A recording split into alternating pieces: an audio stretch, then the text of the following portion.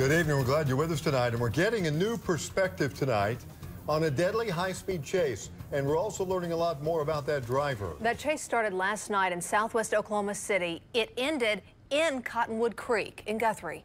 Our Steve Shaw is live in Guthrie with what witnesses are saying. Steve? Kelly and Amanda, we are right across the street from the popular Stables Cafe. Folks, this chase last night roared right past there, and we have body cam video from a sheriff's deputy.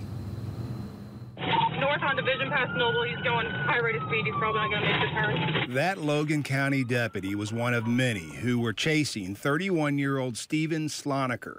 Sloniker's criminal history in Oklahoma County alone dates back 14 years, with several convictions for car theft, driving on a suspended license, and drug possession.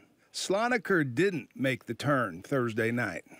Crashed out, County, crashed out. I saw a man in a jacked up truck just zoom right past us. Wyatt Sarasua works at Stables Cafe and was one of many who saw Sloniker scream by just before the black Ford F-250 Sloniker was driving hit some railroad tracks and went airborne just down the road. Which way?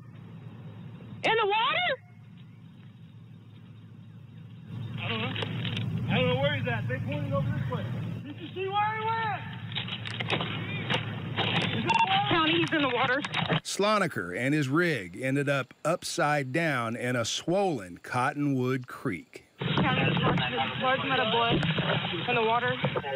Contact the supervisor, please.